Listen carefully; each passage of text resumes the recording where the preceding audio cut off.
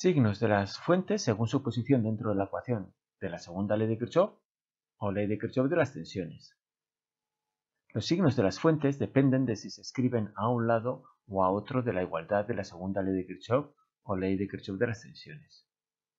Si las fuentes se escriben en el mismo lado de la igualdad, igualdad que las impedancias, entonces hay que aplicar el mismo criterio que para las impedancias.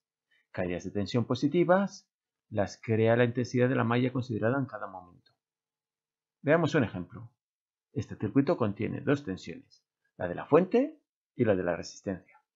Por un lado, las cadenas de tensión tienen el sentido de circulación de la malla considerada.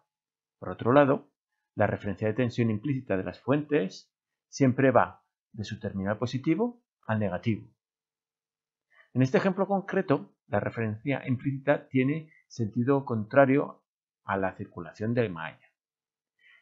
Si la fuente se escribe junto al resto de caídas de tensión de las impedancias, le corresponde el signo opuesto porque su caída de tensión es opuesta al de circulación de este ejemplo. Cuando la fuente se anota al otro lado de la igualdad, obviamente el signo cambia. Otra forma de aplicar la segunda ley de Kirchhoff o de las tensiones es igualar la suma de caídas de tensión en las impedancias con la suma de fuerzas electromotrices o bien tensiones de alimentación o, permítanme la expresión coloquial, subidas de tensión en las fuentes de la malla. Abusando del lenguaje, diríamos que la suma de caídas de tensión en las impedancias de una malla debe coincidir con la suma de subidas de tensión de sus fuentes. Cuando las fuentes se anotan en el lado de la igualdad opuesto al de las impedancias, el criterio de los signos es el de las tensiones de alimentación, o fuerzas electromotrices del circuito, o coloquialmente subidas de tensión.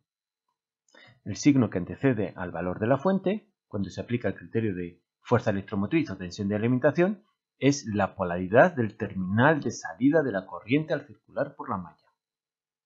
En este circuito, la corriente de circulación de mallas sale por el terminal positivo de la fuente. Por tanto, la fuente lleva el signo positivo cuando se escribe al lado opuesto de las impedancias, que es el lado de las fuerzas electromotrices o tensiones de alimentación. Recuerde que el signo de la fuente cambia a un lado o a otro de la igualdad.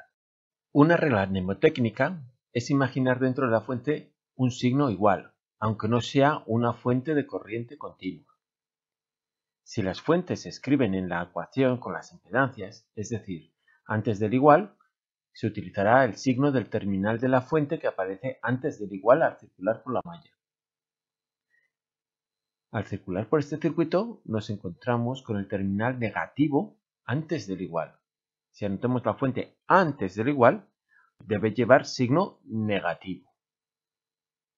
Al circular por este circuito nos encontramos con el terminal positivo después del igual. Si anotamos la fuente después del igual, debe llevar signo positivo. Recuerde que el signo de la fuente cambia a un lado o a otro de la igualdad.